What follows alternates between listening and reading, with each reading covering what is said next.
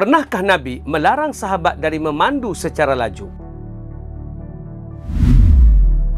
Ya, di dalam hadis sahih Rasul melarangnya. Rasulullah sallallahu alaihi wasallam dari sebahagian musafirnya akan dipandu oleh seorang berkulit hitam yang dipanggil Anjashah. Dalam satu perjalanan, Anjashah telah memecut laju unta. Apabila Rasulullah sallallahu alaihi wasallam melihat perkara itu, baginda menyatakan kepadanya, "Ya Anjashah, ruwaidaka sauqan bil qawarir." Wahai Anjashah, perlahankanlah kenderaan dan jangan memecahkan qawarir, yakni membuat sekumpulan wanita dalam musafir tidak selesa kerana lajunya unta hadis riwayat Muslim. Anjasyah yang berasal dari Habsyah itu terkenal kerana kepandaiannya mengenderai haiwan tunggangan dan mempunyai suara unik yang mampu membuatkan haiwan tunggangan berjalan laju apabila mendengarnya bersyair. Nabi menyuruh Anjasyah memperlahankan unta kerana para wanita yang berada di atas unta itu tidak selesa. Kisah ini menunjukkan memandu dalam keadaan berbahaya dan menyebabkan penumpang tidak selesa adalah dilarang. Itulah Islam sampai bab memandu pun ada panduan. Ustaz Pro, Assalamualaikum.